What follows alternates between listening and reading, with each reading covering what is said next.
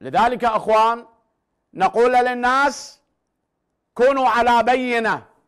عملية التطهير هي إزالة الشرك والالتباس والإيمان بالولاية. هل المسؤولين عن هذا البيت مؤمنين بالولاية؟ يقيمون حد الله؟ يأمرون بالمعروف؟ ينهون عن المنكر؟